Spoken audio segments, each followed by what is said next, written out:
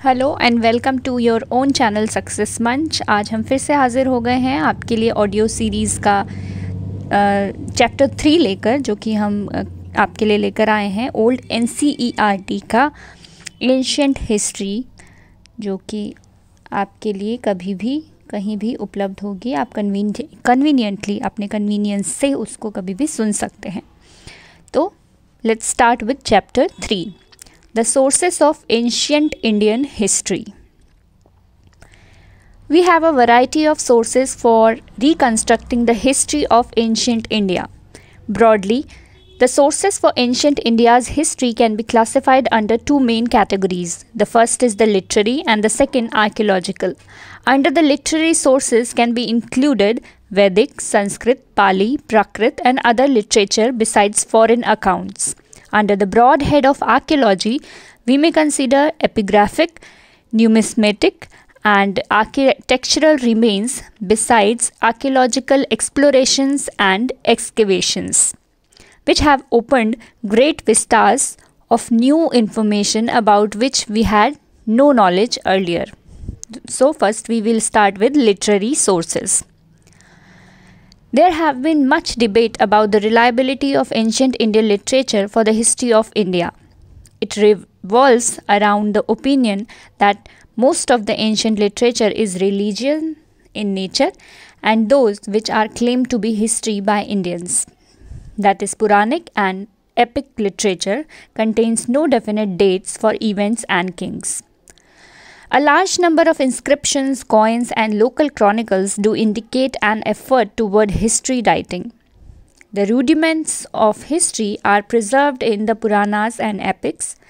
We find genealogical of kings, genealogies of kings, and sometimes their achievements, but it is difficult to arrange them in chronological order. Vedic literature, mainly the four Vedas, that is Rig, Yajur, Sam, and Atharva Vedas are entirely in a different language, which can be called the Vedic language. Its vocabulary contains a wide range of meaning and at times different in grammatical usages. It has a definite mode of pronunciation in which emphasis changes the meaning entirely. This is the reason why an elaborate means to protect and preserve the mode of pronunciation of the Vedas have been devised.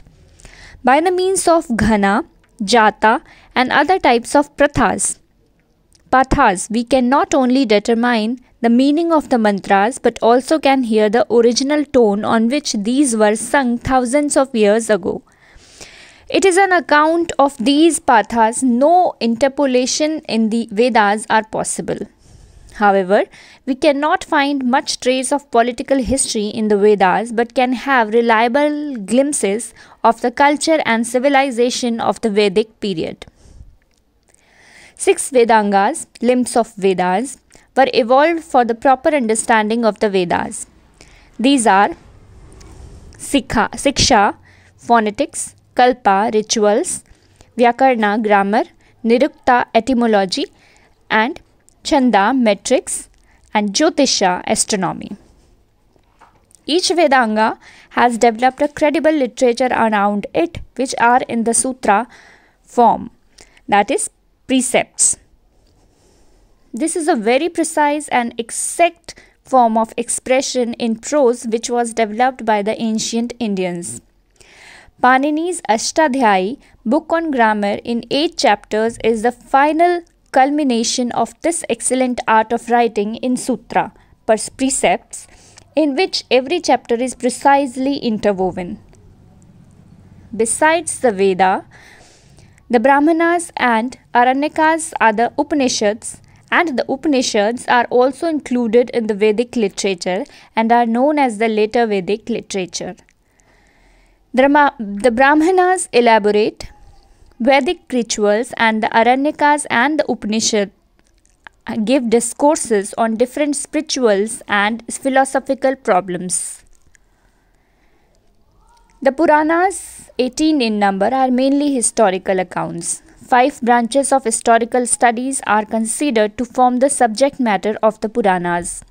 These are 1. Sarga, evolution of universe two प्रतिसर्गा evolution of universe involution of universe मनवंतंतरा recurring of time four वंशा genealogical list of kings and sages and five वम वमसानुचरिता life stories of some selected characters Later on description of the Tirthas, sacred places of pilgrimage and their Mahamatya religious importance was also included in it. The two great epics, the Ramayana and Mahabharata, may also be used as the source. It is generally held that there have been constant in interpolation in these works. The Jain and the Buddhist literature were written in Prakrit and Pali languages. Prakrit was a form of Sanskrit language and early Jain literature is mostly written in this language. Pali can be regarded as the form of Prakrit language which was in Vedic in Magadha. Most of the early Buddhist literature is written in this language. With the Buddhist monks, it reached Sri Lanka where it is a living language. Ashokan edicts are also in this language. Since the modern historians have discarded most of the dynastic mentioned in the Puranas and Mahavira and Buddha are considered historical personalities. Only those portions of the Puranic dynasties lists have been accepted which are supplemented and supported by the Buddhist and Jain literature. The Buddhist books called Jataka stories also are given some historical importance as they are related with the previous births of the Buddha. There are more than 550 such stories. The Jaina literature also contains same information which may help us in reconstructing the history of different re regions of India. The Dhamma Sutras and the Smritis are rules and regulations for the general public and the rulers. It can be termed in the modern concept as the constitution and the law books for the ancient Indian polity and society. These are also called Dharma Shastras. These were compiled between 600 and 200 BC. Manusmriti is prominent among them. Kautilya's Arthashastra, a book on statecraft, was written in the Mauryan period. The text is divided into 15 chapters known as books.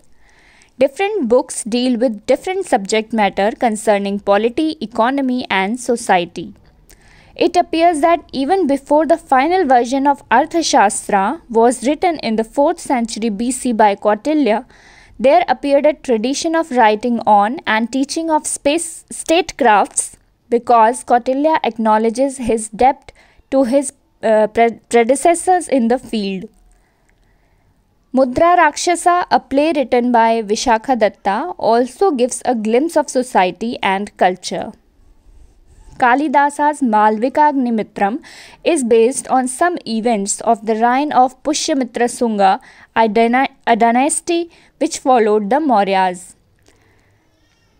Bhasha and Sudraka are other poets which have written plays based on historical events.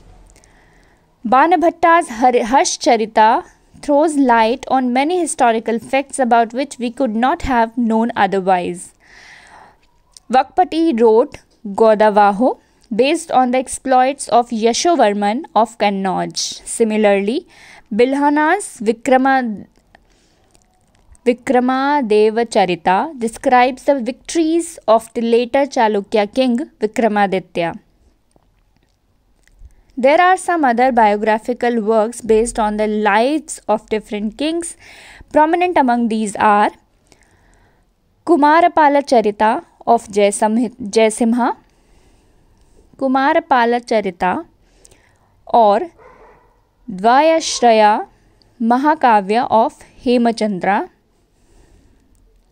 Hamira Kavya of Nayachandra, Navasaha Sankar Sankacharita of Padmagupta, Bhoja Prabandha of Bilal, and Prithvi Raj Charit of Chandavardai. But the historic text Raj Tarangini by Kalhana is the best illustration of history writing appreciated by modern historians. His critical method of historical research and impartial treatment of the historical facts have earned him a great respect among the modern historians. The Sangam literature describes many kings and dynasties of South India. Poetic compilation by a group of poets at different times patronized by many chiefs and kings are called Sangama. These are in all 30,000 lines of poetry arranged in two main groups Patinen Kilkanakku and Patupattu. The former is older than the later. The Sangam literature consists of short and long poems which were composed by a large number of poets in praise of their kings. Some kings and events are supported by inscriptions also. This literature generates this literature generally describes events up to the 4th century AD. Foreign accounts. For a great deal of our knowledge of ancient Indian history, we are indebted to the foreigners. India figures in the foreign inscriptions like in those of Darius. Herodotus and Ctesias got their information through the Persian sources. Herodotus, in, in his histories, gives us much information about Indo Persian relations. Arrian wrote a detailed account of the invasion of India by Alexander on the basis of information from those who accompanied the campaign. Ambassadors were sent to Pataliputra by Greek kings. Some of them were Megasthenes, Demachus, and Dionysius.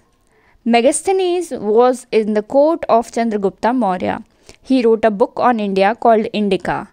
The original work has been lost, but we have some idea about it from the quotations in the work of the later writers.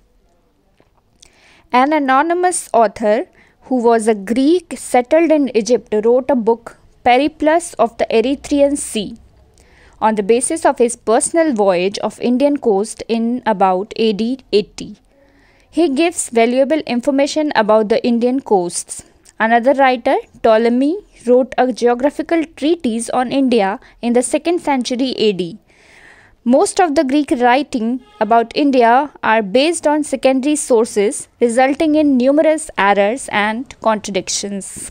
Therefore, it is necessary to be cautious when using Greek sources. They were ignorant of the knowledge and the customs of the country, and their information is full of unbelievable facts and fancies.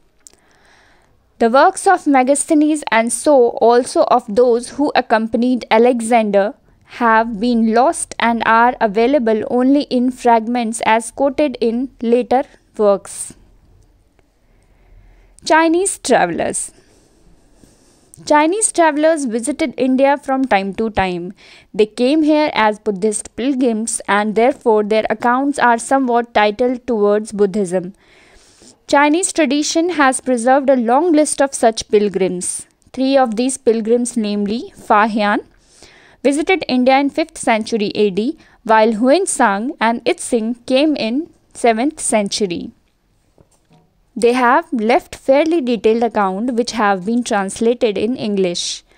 Hiuen Tsang has given the most interesting and valuable account about Harshvardhana and some other contemporary kings of northern India.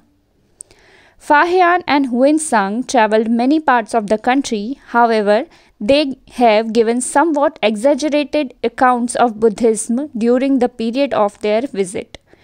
For example, Hiuen Tsang depicts Harsha as a follower of Buddhism, while in his epigraphic record, Harsha mentioned himself as a devotee of Shiva.